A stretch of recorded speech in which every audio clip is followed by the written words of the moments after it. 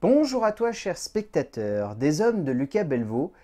C'est un film dont j'entends parler depuis un bon petit moment parce que, pour vous donner un ordre d'idée, je devais le voir en avant-première début novembre de l'année dernière. Ça ne s'est pas fait, vous savez pourquoi. Le film a été repoussé dans un premier temps en décembre, puis en janvier, puis en février, puis plus de date de sortie, et là donc il débarque quelques semaines après la rouverture des salles, dans une indifférence générale, alors qu'à la base ça se voulait être quand même un gros morceau de cinéma, porté quand même par de sacrés acteurs, avec un sujet fort en tête. Le résumé pour faire simple, la guerre d'Algérie a ravagé des hommes. Des hommes, mais aussi des consciences. Dans un petit village en France, celle de Bernard a été à jamais changée par une réalité que l'on semble vouloir oublier. C'est un film compliqué. Je pense que tout le monde ne va pas réussir à adhérer aux propos de Lucas Belvaux, je pense que peu de gens vont réussir à pleinement adhérer à la forme qu'il décide de donner à son récit, qui est une forme qui se veut assez évasive, qui part dans beaucoup de directions et qui peut-être par instant sonne comme un peu brouillonne, mais qui apporte un regard assez particulier sur le trauma que la guerre d'Algérie a pu avoir sur certaines personnes. Et personnellement, c'est ce qui m'a beaucoup touché dans le film de Lucas Belvaux. Le film est loin d'être parfait, est bourré de maladresse, mais vraiment bourré de maladresse, à beaucoup d'instants où on se demande vraiment quelle est la démarche que Lucas Belvaux veut donner à son long métrage. Pour autant, j'ai pas pu m'empêcher derrière de trouver que le film avait un fond qui était solide, avait une forme qui était intéressante, avec un vrai propos graphique et sensoriel qui va emmener le métrage de bout en bout, porté en plus par trois acteurs qui se donnent vraiment à fond, par des acteurs secondaires également qui représentent les personnages jeunes que je trouve assez impressionnants, par moments dans un jeu très théâtral mais qui je trouve ne fait jamais perdre la puissance dramatique que Lucas Belvaux veut donner à ses personnages. Et tout ça en fait ça donne une portée humaniste extrêmement juste au long métrage. C'est loin d'être parfait derrière, notamment dans sa gestion de l'émotion et dans la manière avec laquelle elle est portée à l'écran.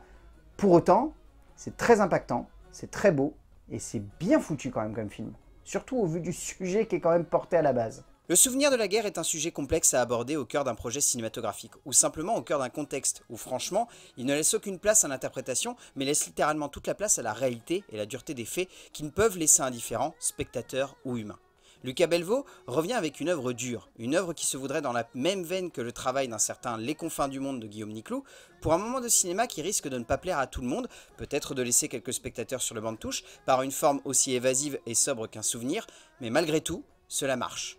En termes d'écriture, Lucas Belvaux a décidé de porter à l'écran le roman de Laurent Mauvignier, euh, le roman est très complexe, hein. j'ai vaguement cru apercevoir quand même quelques passages. Euh, il est très lyrique, part dans beaucoup de directions, a des espèces de grands élans épiques qui veut raconter l'histoire de manière très frontale. Ça a dû être un sacré pataquès dans la tête de Lucas Belvaux lorsqu'il s'est mis à écrire ce scénario parce que ça se ressent. Le scénario est très intéressant dans sa forme globale. Mais si on s'arrête sur quand même pas mal de détails, le film part dans tous les sens. Mais vraiment, l'écriture part dans tellement de directions que par instant, c'est difficile de cerner quel personnage est qui, parce qu'il y a tellement d'informations qui sont balancées à la gueule du spectateur, que du coup, on est un peu perdu. Et vraiment, ça peut gêner. Hein. Je, je pense sincèrement qu'il y a des personnes qui ne vont pas réussir à rentrer dans le film parce qu'ils vont avoir l'impression qu'on ne les dirige pas assez bien en fait dans la bonne direction pour faire en sorte d'accepter soit tel personnage, soit tel retournement de situation, soit tel contexte, soit telle logique de rapport qu'ils vont entretenir, soit tel conflit. Enfin, c'est vraiment un script qui veut montrer à quel point la guerre d'Algérie a été un, pardon du terme, bordel sans nom. Et que plein de gens du coup se sont sentis perdus face à tout cela et n'ont pas réussi finalement à, si ce n'est comprendre en fait pourquoi ils se battaient, en tout cas comprendre pourquoi ils étaient là. Et je pense qu'à partir de là, ça va être en fonction de la sensibilité de chacun. Certains vont vraiment adhérer au film, vont se dire que le propos est bien mené, que les personnages sont cohérents, qu'ils ont la bonne démarche, etc. Et peut-être il y en a d'autres qui vont vraiment rester complètement opaques devant le film, vont se dire que ce sujet ne les traverse pas, que ça n'est pas leur cam, et je pourrais totalement comprendre parce que la démarche est tellement particulière que le résultat va dépendre de la sensibilité de chacun. Belvaux tire de ce roman une base dramatique solide, à laquelle il cherche à apporter un relief cinématographique par le biais d'une écriture jouant beaucoup sur l'émotion. L'émotion ressentie par un personnage durant un fragment de seconde, l'émotion qui doit transparaître d'une ligne de texte qui pourrait être trop littéraire. On pourra tout de même facilement reprocher cela à Belvaux, ce besoin de vouloir constamment en faire des caisses avec un lyrisme sur la guerre et ses affres qui peut sonner comme forcé et comme un poil trop poussé. Mais ce message, cette forme qu'il donne à son récit, cette puissance dramatique qui se dégage de cette simplicité de composition, c'est tout cela qui rend l'œuvre forte.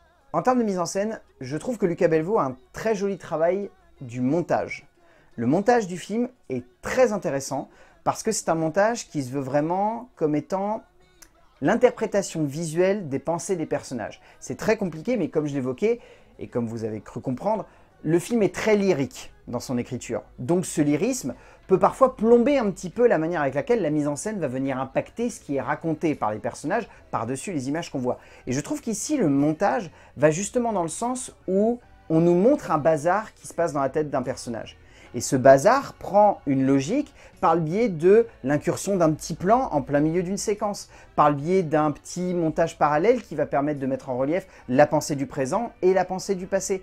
Et tous ces petits trucs-là, je trouve, sont très très bien foutus et donnent vraiment au long métrage quelque chose de particulier. Derrière, Lucas Belvaux va appuyer ça avec une mise en scène qui va souvent être très proche des corps. Et si ce n'est très proche des corps, carrément très proche du visage, où on va lire littéralement sur le visage des personnages tout ce qui les traverse en une fraction de seconde. Et ces plans-là sont assez saisissants de justesse parce que Lucas Belvaux ne va jamais chercher à rendre ça trop tape à l'œil ou va vouloir faire en sorte que son émotion, elle transpire sur la gueule de ses persos. Ce qui est intéressant, c'est de voir le passage d'une émotion à une autre. Donc du coup, de faire en sorte qu'une émotion va laisser la place à une autre. Et en tant que spectateur, c'est très intéressant parce que ça renforce l'impact des séquences sur nous. Et moi j'ai trouvé ça assez fort parce que ça pourrait se limiter à juste une petite idée à gauche et à droite, mais je trouve que Lucas Belvaux arrive quand même à tenir tout ça tout du long du film, ce qui rend vraiment la mise en scène assez impactante sur le spectateur, et au-delà de ça, ça donne vraiment à cette histoire l'impact nécessaire pour rappeler à quel point la grande histoire dans la petite, c'est à la fois un pari visuel, mais également un pari sensoriel. Et ce pari sensoriel, pour moi, il est réussi ici. Lucas Belvaux part dans beaucoup de directions, cela est sûr et certain, et cela peut même laisser un poil perplexe durant de nombreuses scènes, comme son envie de vouloir plonger le spectateur dans la tête de Rabu et de Bernard, avec ce montage oscillant constamment entre le subliminal et l'hyper-réalisme. De cela, on retiendra surtout une mise en scène qui joue à merveille avec cette idée de ressentir instantanément ce qui se passe dans la tête de ces personnages, pour donner lieu à un métrage qui traite avec maladresse de l'affect de la guerre, mais qui réussit brillamment à construire un ressenti acerbe qui donne lieu à un film intense et violent. En termes de casting, alors déjà Catherine Fro est bien, même si elle est très en retrait, elle a un personnage quasi tertiaire, je comprends même pas qu'elle soit sur la tête d'affiche du long métrage parce que réellement on la voit pas tant que ça. Perso, j'ai vraiment envie de saluer Johan Zimmer ainsi que Félix Kizil qui sont vraiment excellents. On peut également situer Édouard Sulpice euh, qui est juste bluffant, vraiment bluffant. Il a un, personnage qui arrive à porter avec beaucoup de justesse. On peut citer également Fleur Fitoussi, Clotilde Mollet, euh, Amel Chabi, Mohamed Kafi, Farid Larbi, Michel Ferracci, enfin la grande majorité des acteurs secondaires sont assez impressionnants, mais Lucas Belvaux, ça ne m'étonne pas de sa part. Ses précédents métrages étaient aussi imposants en termes de casting. On retient surtout le film pour les performances de Gérard Depardieu et de Jean-Pierre Daroussin, dans des registres très différents, mais les deux sont vraiment impressionnants.